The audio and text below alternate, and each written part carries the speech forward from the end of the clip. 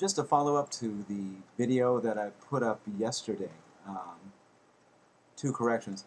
Uh, the first one, um, the name of Sarah Palin has been misspelled. Uh, it would normally have an H.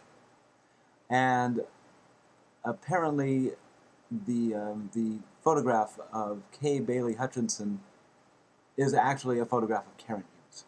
Um, obviously, what I meant was Karen Hughes was the correct reference I should have made. The photograph was correct. The speech was wrong.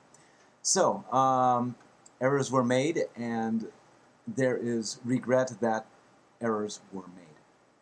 Also, um, the, um, the person who pointed this out, a fellow named uh, Madeline's dad, at Where Are My Keys, uh, a prominent right-wing blog, pointed out things that I uh, failed to include. Uh, for example, Laura Ingraham versus Randi Rhodes. Ingraham, much more attractive. Elizabeth Hasselbeck during Rosie O'Donnell versus Rosie O'Donnell. Obviously, Hasselbeck wins on that one. And uh, Ann Coulter versus Susan Estrich. There you go. The point is further proven.